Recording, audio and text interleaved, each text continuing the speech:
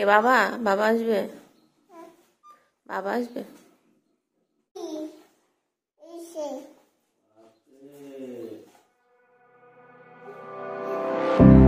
I would never wait for something to let it go to waste with everything at stake.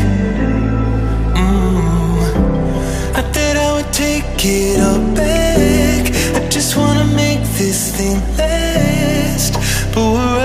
out of time. We were.